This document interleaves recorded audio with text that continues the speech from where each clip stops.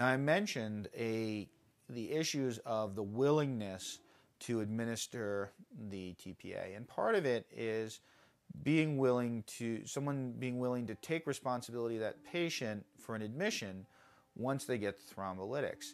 Um, and the drip and ship policy that the stroke center has initiated that is every patient who gets TPA is automatically guaranteed a bed at EMMC certainly helps. Uh, the other part of that, and with that, the rate of administration went from 1% up to 3%. Now, still not the 10% where we probably should be aiming for, but that's a tripling. And we didn't add any more CT scanners. We didn't add any more technologists. We're not keeping people on call in the hospital, sleeping by the CT scanner 24 hours a day. All we did was say that there'll be no argument about this patient getting admitted to a bed, and so that's helped quite a bit. The other thing that I think is going to help quite a bit is telestroke, and that's access to neurologists at any time. It's web based real time consultation. It's been done for years in this region for trauma, for PICU. It's just like a phone consult, but there's video imaging uh, that allows for the evaluation of that patient as well. So the neurologist puts on their headset, they fire up their webcam, at the other end in the hospital, the nurse rolls the $10,000 webcam in the room, and the doc standing by the bedside, the patient's there. Uh, the neurologist says, Go ahead and raise your left arm. And the nurse says to the patient, He'd like you to raise your left arm. And the patient tries to raise his left arm and can't.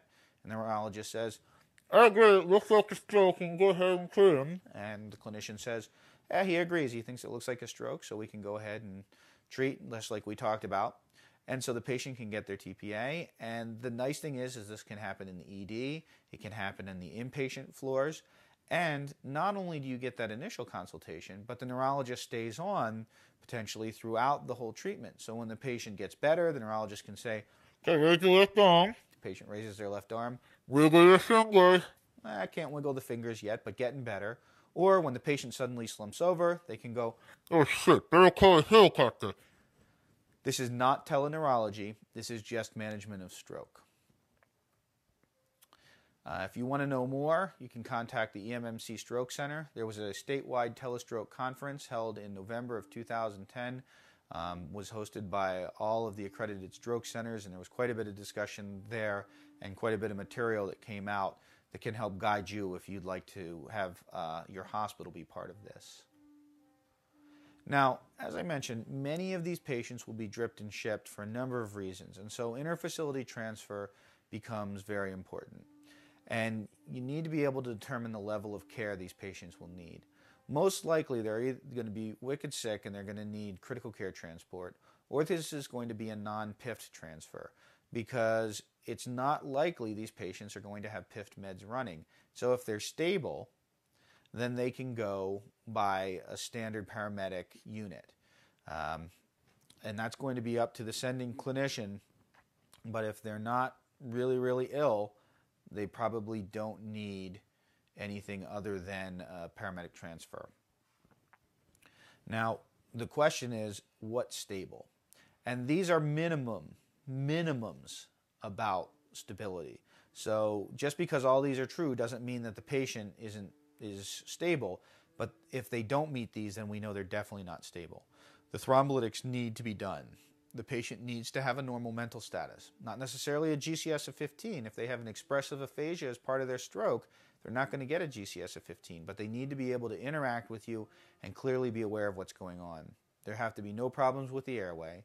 The systolic blood pressure needs to be consistently less than 180 millimeters mercury without medications that require titration.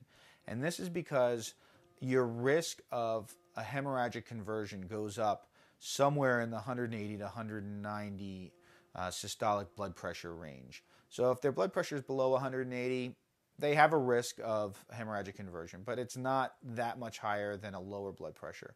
But above 180, those patients are at very high risk of having a hemorrhagic conversion. And when that happens, they become unresponsive and they need airway management through RSI. So they need critical care transport uh, taking care of them at that time.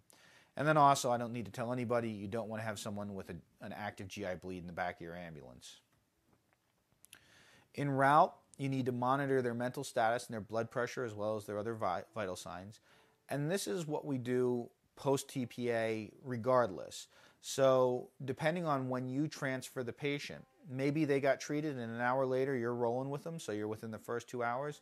Or it may be that they were treated, they had complete resolution of their symptoms, they feel great, and so they went home or they went and sat in the back of the emergency department for uh, overnight. Now we're at 12 hours, so you're in the Q1 hour. But depending on where you're at, either you're doing Q15 vital signs for the first two hours, or you're doing Q30 minute vital signs for the next six hours, or you're doing Q1 hour vital signs for the last 16 hours.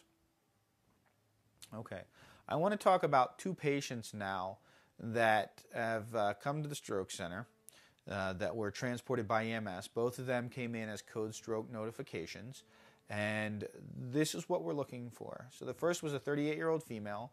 At 17:15 hours, she d- developed sudden right-sided hemiplegia. She was at a picnic. She only had one beer, and I, I know that's hard to believe that anybody could only have one beer, but she had a stroke before she could have her second.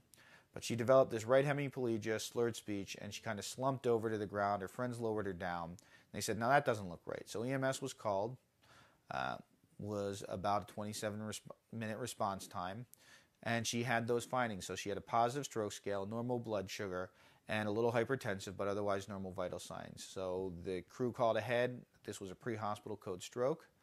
She arrived at the hospital at 1810, so 55 minutes after the onset. On exam, still a little hypertensive, otherwise normal vital signs, and this persistent right hemiplegia. She had laboratory studies that were normal. She had a head CT, and if you don't read a lot of head CTs, this is essentially a patient that's gone through a deli slicer and you're looking from the feet up. And so the top of the slide is the front, the bottom of the slide is the back as you're facing the slide. Uh, the left is the patient's right, the right is the patient's left.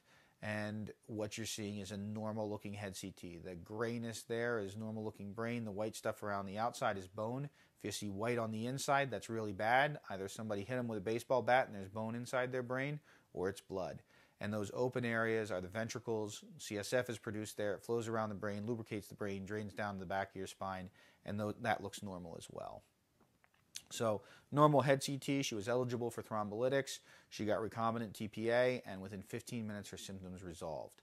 Now, why does a woman as young as she was have a stroke? Good question. So she stayed in the hospital for five days uh, and was discharged neurologically intact. So she is a code stroke success story. This is what we want to have happen. Everything flowed smoothly from the notification all the way through the treatment. In case two, it was a 56 year old male who at 1345 developed sudden onset left upper extremity weakness, left lower extremity paralysis, and slurred speech. EMS arrived about 21 minutes later. He had a positive stroke scale with those findings, normal blood sugar. He was hypertensive um, and borderline tachycardic. They called in a pre hospital code stroke. In transport, they noticed that the left upper extremity weakness was coming and going, coming and going, um, but the mental status was decreasing, and the left lower extremity weakness completely resolved. So they get to the ED about an hour later. Patient's still hypertensive. Now he's moving all extremities, although clearly weak on the left and increasingly obtunded. So he's uh, rapid sequence intubated. His labs are unremarkable, and this is his head CT. And what you can see is a massive amount of whiteness inside the brain, and that's blood. So this is an interparenchymal bleed that's extended into the ventricles. And um, we knew the punchline, but neurosurgery was called, and they felt this was non operable. The patient was admitted to the ICU. Uh, the patient's prognosis was discussed with the family, and they appropriately elected to withdraw care, and the patient died. So, again, up until the point where we had the head CT, this patient was an absolute code stroke candidate. Things flowed exactly the way we would want them to. It was ideal. And it's just that we discovered that the first patient was a perfect candidate and the second patient had a horrible disease that we really couldn't have predicted. But either way, good code stroke cases. So, in short, code stroke, you've got a patient who's got signs and symptoms consistent with stroke. They're not hypoglycemic. They have a positive Cincinnati pre hospital stroke scale, and those findings are new within the last 24 to 48 hours. If you see that, call in code stroke, doesn't matter which hospital. This is not a diversion protocol, so you'll go to the patient's hospital of choice or the nearest hospital unless that hospital diverts you because they don't have CT capability. And hopefully, you'll get more patients treated. If you have any questions, feel free to contact myself, Rick Petrie, or the EMMC Stroke Center. Thank you.